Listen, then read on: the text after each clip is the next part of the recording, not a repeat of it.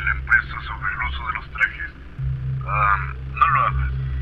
Después de enterarse de un desafortunado incidente, una operación hermana que implica múltiples y simultáneos fallos, la compañía ha considerado que los trajes tienen una incapacidad temporal para los empleados.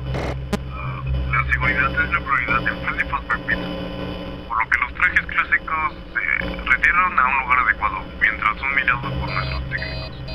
Hasta que los reemplazos lleguen, se les pide que vistan los trajes temporales. Ten en cuenta que se encontraron en un plazo muy corto, por lo que las preguntas acerca de su seguridad o limpieza deben ser ignoradas.